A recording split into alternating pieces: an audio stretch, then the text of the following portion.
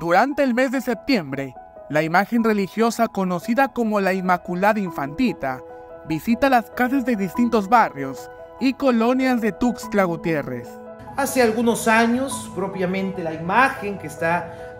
eh, aquí atrás de mí, pues eh, fue traída a Tuxtla Gutiérrez de la ciudad de Guanajuato, una de las ciudades de México donde más veneración le tienen a la Inmaculada Infancia de la Santísima Virgen María, pues la finalidad es promover su devoción.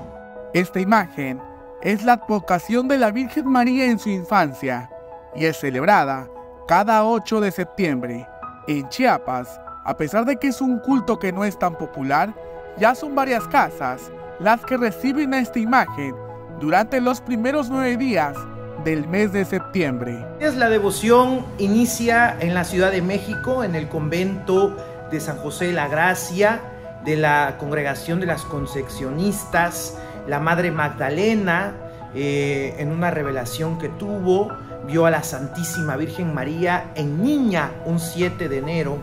de 1838 y ahí la Virgen le nació pues esta devoción de venerar a la Virgen María en su infancia. Durante semana y media, esta imagen sale a peregrinar y visita las casas de las y los creyentes, quienes reciben de diversas formas y abren su hogar para su veneración,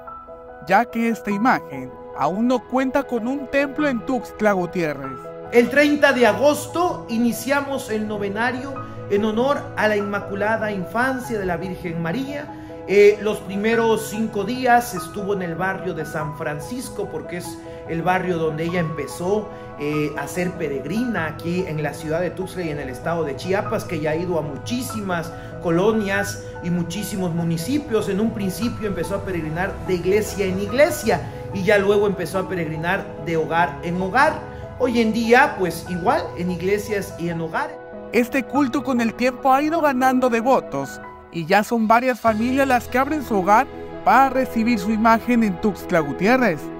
donde se piensa construir con el tiempo una capilla en su honor.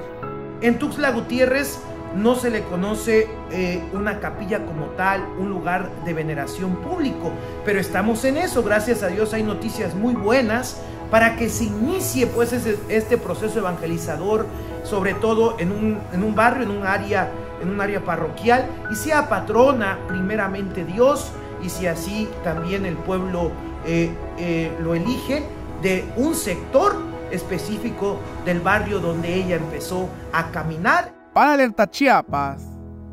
Eric Chandomí.